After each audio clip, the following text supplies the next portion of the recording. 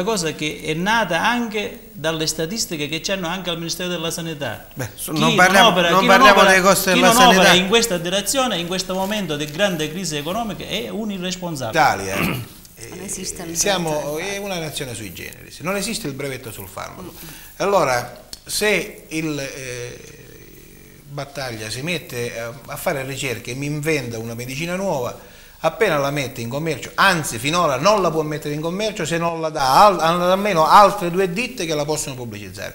Poi arrivo io, mi piglio la molecola, cambio il colore della scatola, magari invece di mettere come dolcificante il, lo sciroppo al lampone metto alla fragola o un'altra sciocchezza e lo vendo. Addirittura a prezzi maggiori, si è fatto in passato, dico l'effetto Poggiolini dico, eh, era questo, cioè lo stesso farmaco veniva messo da una ditta che non aveva investito in ricerche, ma aveva solo scopiazzato da ditte serie a prezzi possibilmente più cari.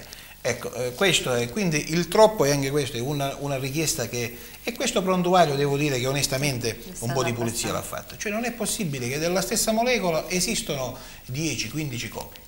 Io ancora mi impegno parecchio a, fare, a preparare pomate, eh, lozioni, tutto quello che riguarda proprio la, la formulazione eh, magistrale e penso che se questo sia eh, un, un, settore che noi dobbiamo riscoprire, noi tutti, perché praticamente eh, l'arte del farmacista è anche questo. Usbeziale. Usbeziale, fare praticamente eh, la formulazione, la, eh, il preparato ad hoc per il cliente. Il laboratorio. E noi, siamo, e noi siamo, abbiamo una preparazione per poterlo fare e, e, quindi io mi auspico che praticamente i medici riscoprono anche il gusto di prescrivere queste, questi prodotti. È solo una ricetta. Sì, va bene, grazie. Signora, è stata chiara la risposta? Sì, sì, va bene, le ringrazio. Eh? Bene, buonasera, grazie, buonasera. signora.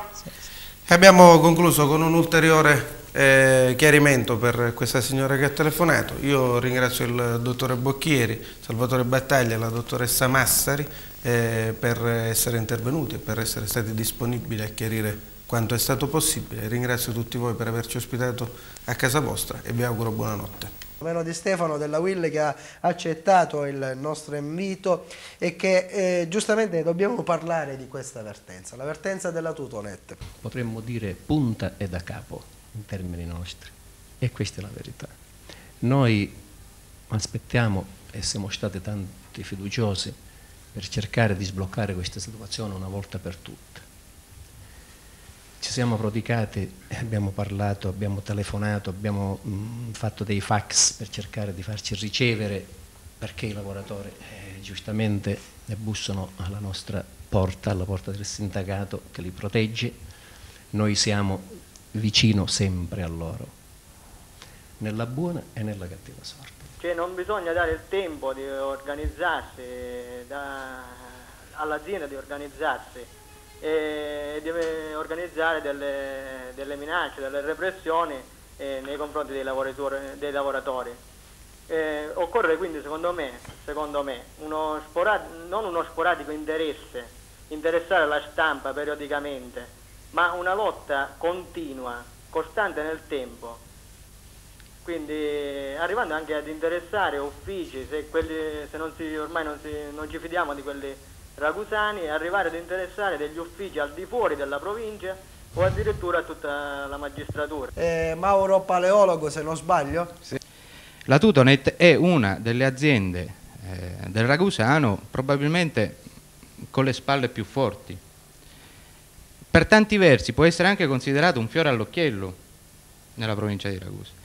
Ehm, per stessa dichiarazione del, del, titolare ha un fatturato di 6 miliardi l'anno, cifra assolutamente non trascurabile, occupa nel bene e nel male 100 persone, ha degli impianti modernissimi e quindi eh, è proprio un problema di territorio secondo me e nel territorio ci vive la gente. Eh, il problema è fondamentalmente, eh, mm, volevo anche rispondere un attimo all'interessante intervento del signor Carmelo che ha telefonato.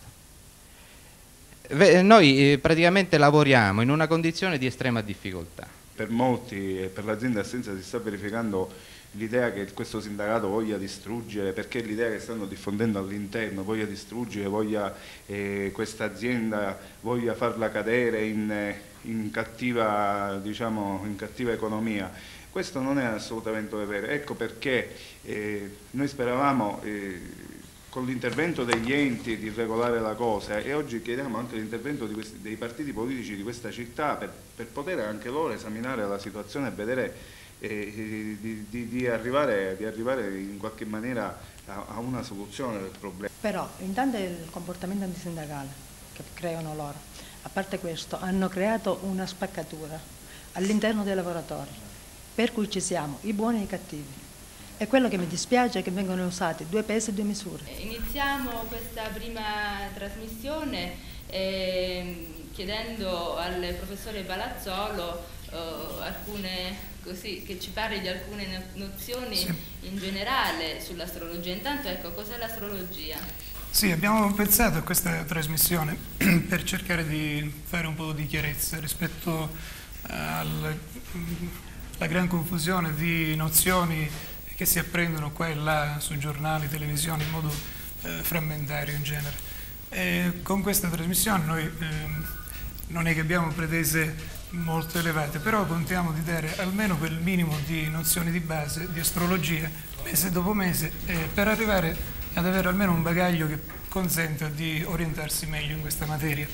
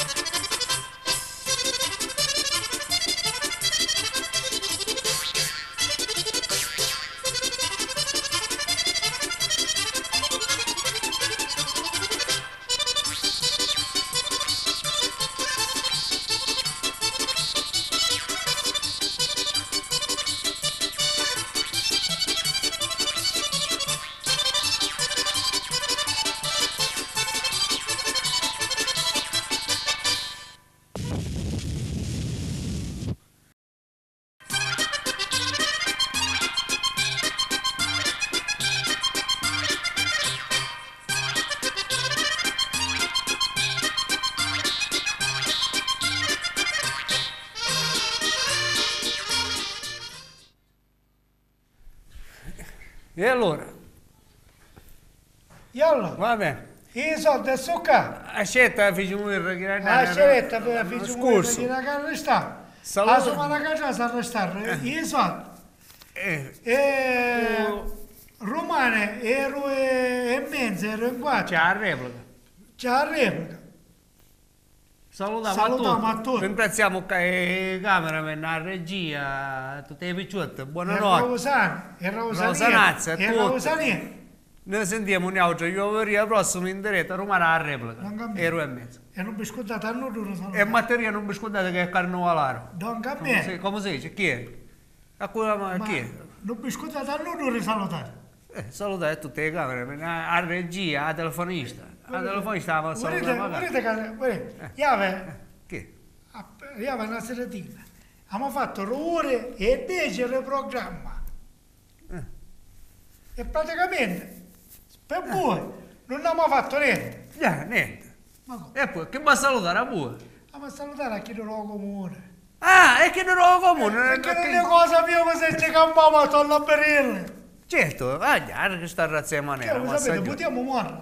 Ah, potete morire, certo. Che sappiamo se è vero, faccio. Ah, questo credo. Eh, ci vuole. Lo sapete come facevo? Dicevo la parola rosa. Pellerico e Belleragamo. Ci picca siamo. Mi ci non la passiamo. Buonanotte a tutti.